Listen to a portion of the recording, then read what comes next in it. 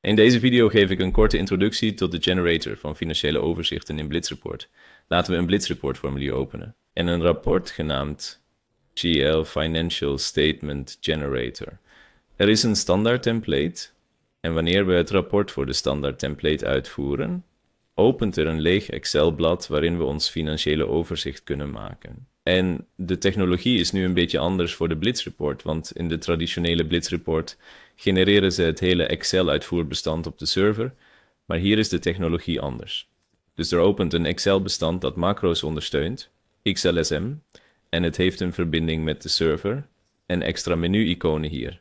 En we kunnen deze menu-iconen gebruiken om functies in Excel te maken. We kunnen bijvoorbeeld alle rekeningwaarden opvragen. Laten we deze ontdekfunctie gebruiken om de rekeningwaarde van de server op te halen.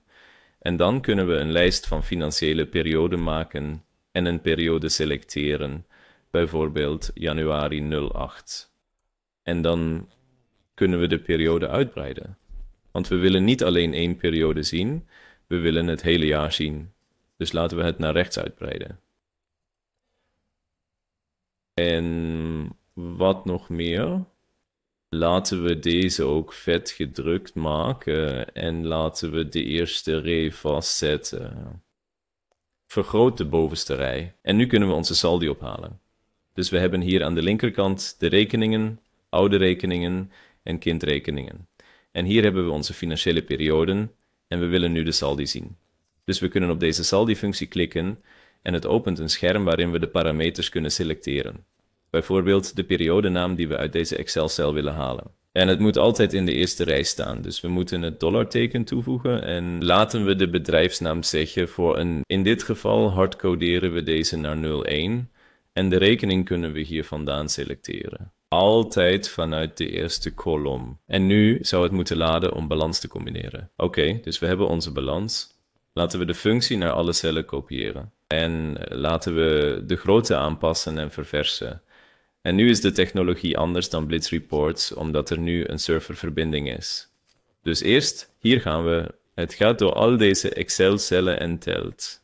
Dus je ziet, we hebben 6420 Excel-cellen waarvoor we de saldi moeten ophalen. En de serververbinding haalt nu de saldi van de EBS en brengt ze terug in de Excel.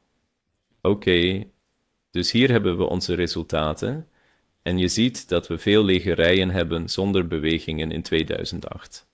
Dus we hebben de mogelijkheid om de nullen zoals deze te verwijderen. En in deze spreadsheet kunnen we nu verder inzoomen. Dus bijvoorbeeld, wat hebben we?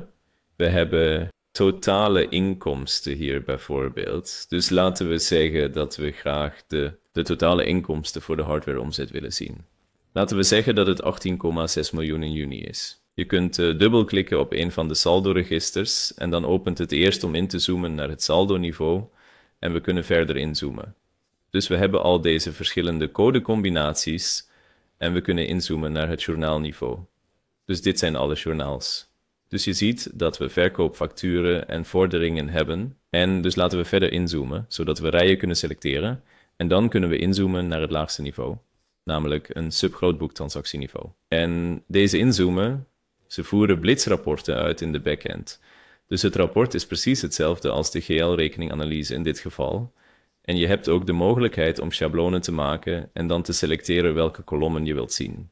Dus dezelfde flexibiliteit die je hebt met Blitzreport kun je hier toepassen. Dus hier, uh, dit is het laagste niveau, dus het subgrootboekniveau. Dus met één record voor elke transactie eerst alle kolommen afkomstig uit het algemene grootboekmodule, dus geconcateneerde segmenten, lijnbedragen. En hier hebben we onze rekeningsschema segmenten.